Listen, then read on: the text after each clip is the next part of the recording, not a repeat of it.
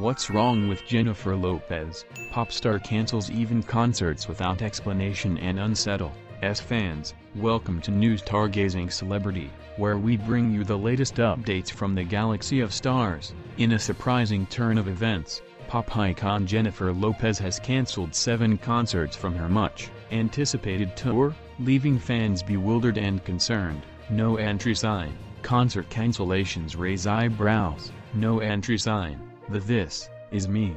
Now tour, marking J-Lo's return to the stage after five years, was said to be a grand affair. However, fans were left in the dark as shows in cities like Cleveland, Nashville, and Houston were abruptly cancelled, admission tickets, Ticketale's trouble, admission tickets, speculations suggest that, weak ticket sales might be the culprit behind the cancellations despite the tour's initial hype, seating charts showed a sea of unsold tickets, hinting at less than expected demand. Broken Heart, fans demand answers. Broken Heart, the lack of explanation has only fueled the fans' anxiety and speculation with no official statement from JLo or the event organizers.